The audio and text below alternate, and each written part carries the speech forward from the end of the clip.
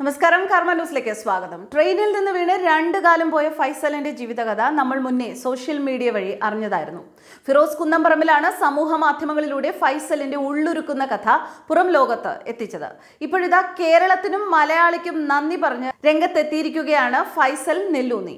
ഇരു കാലുകളും അപകടത്തിൽ നഷ്ടപ്പെട്ട യുവാവ് ഇന്ന് കൃത്രിമ കാലിൽ നടക്കാൻ തുടങ്ങുന്നു. വാടക വീട്ടിൽ നിന്നും സ്വന്തം വീട്ടിലേക്ക് മാറാനൊരുങ്ങുന്നു ഒരുപാട് പേരുടെ സഹായം കൊണ്ടാണ് ജീവിതം ഇതുപോലെ തിരിച്ചു കിട്ടിയതെന്നും ഫൈസൽ വ്യക്തമാക്കുന്നു. ഗൃഹപ്രവേശന ചടങ്ങിന് എല്ലാവരെയും ക്ഷണിച്ചുകൊണ്ടാണ് യുവാവിന്റെ കുറിപ്പ്. ഫൈസലിന്റെ കുറിപ്പിങ്ങനെ പ്രിയ സഹോദരി സഹോദരന്മാരെ ഞാൻ ഫൈസൽ നെല്ലൂന്നി. തലശ്ശേരിയിൽ വെച്ചുണ്ടായ ഒരു ട്രെയിൻ അപകടത്തിൽ രണ്ട് കാലം നഷ്ടപ്പെട്ട് ജീവിതം തന്നെ തീർന്നു എന്ന് കരുതിയപ്പോൾ എനിക്ക് മനസ്സിന് കരുത്ത് തന്നവർ എന്നെ സഹായിച്ചവർ ഞാൻ ഒന്നുപോലും കണ്ടിട്ടില്ലാത്തവരൊക്കെയായിരുന്നു. പ്രത്യേകിച്ച് ഫിറോസ് കുന്നംപറമ്പിൽ എന്റെ വീട്ടിൽ വരുന്നതുവരെ എന്നെ സഹായിച്ചവർ. ഫിറോസിക്കാന്റെ വീഡിയോ കണ്ട് എന്റെ അക്കൗണ്ടിൽ പണമിട്ട് സഹായിച്ചവർ.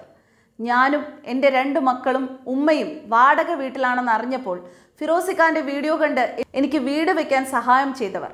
ഞാനും എന്റെ കുടുംബവും എന്നും പ്രാർത്ഥനയോടെ ഓർക്കുന്ന പേര് പറയാൻ ആഗ്രഹിക്കാത്ത ആ ബഹുമാന വ്യക്തിക്കും പിന്നെ എന്റെ ദുഃഖത്തോടും സന്തോഷത്തോടും ഒപ്പം നിന്ന എല്ലാവരോടും ഹൃദയത്തിൽ നിന്ന് നന്ദിയും കടപ്പാടും അറിയിക്കുന്നു. പ്രത്യേകിച്ച് ബഹുമാന്യനും സഹോദര തുല്യനുമായ എന്റെ പ്രിയപ്പെട്ട ഫിറോസ് കുന്നംപറമ്പിലിനോടുള്ള സ്നേഹവും നന്ദിയും കടപ്പാടും ഈ അവസരത്തിൽ അറിയിക്കുന്നു.